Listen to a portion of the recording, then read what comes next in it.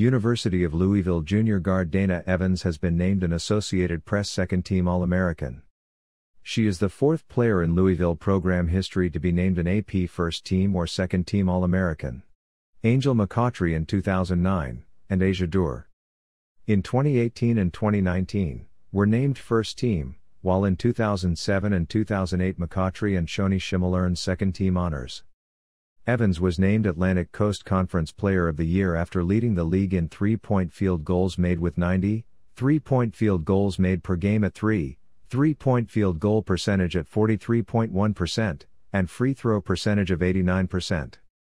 Her 93 point field goals made this season ranked 12th in the country, and 8th all time in Louisville program history. The junior from Gary, Indiana had 10 20 plus point games, which was tied for fourth in the league, and scored in double figures in 29 of 30 games played.